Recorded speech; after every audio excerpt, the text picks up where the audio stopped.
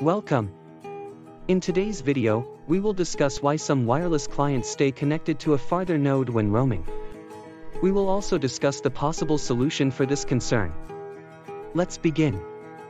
Wireless clients such as mobile phones, laptops and tablets have Wi-Fi drivers that dictate their roaming characteristics.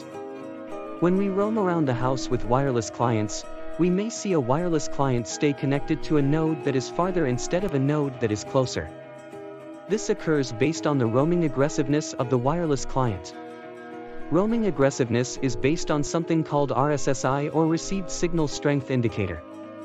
RSSI is measured in decibels per milliwatt, with 0 dBm being the strongest and lesser signals in negative numbers. For some devices, if RSSI levels fall below minus 70 dBm, it triggers the wireless client to search for another node that is closer. If the RSSI levels don't fall below minus 70 dBm, the wireless client will not connect to another node even if that other node is closer. This could lead to a slower Wi-Fi speed. The way to counter a device that is hanging on to a connection with a low RSSI is to turn off the Wi-Fi on your device and turn it back on. The device likely will choose a node with a better RSSI. As a reminder, wireless clients are the one dictating the roaming characteristics and routers cannot overrule that. That's it guys.